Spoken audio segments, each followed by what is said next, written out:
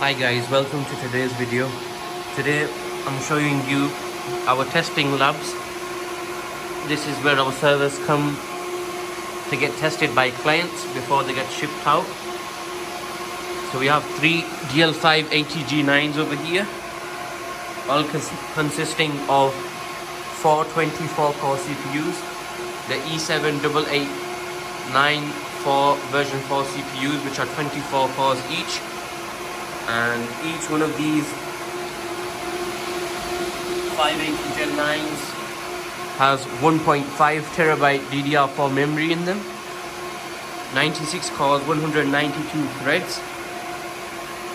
The current thing being tested by the customer just before we ship them out. These are all connected 10 GB SFP plus also. So the switches are getting ready as well this is amazing solution, high density, plenty of more space for upgradability also.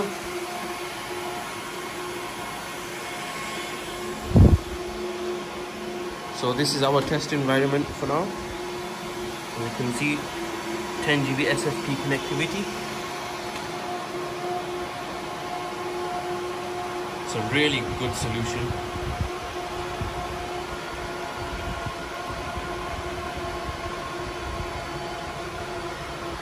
Yep, so at CTO servers, even if you wish to test a server before you want to purchase, we allow tests before purchase.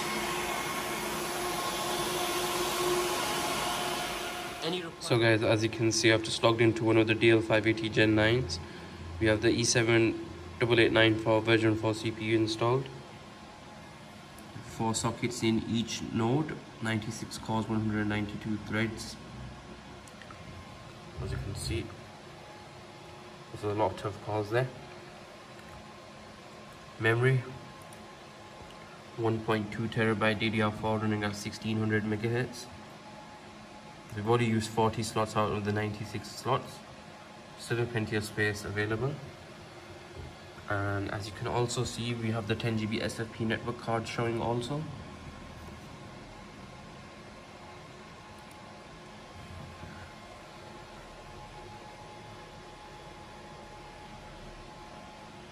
see.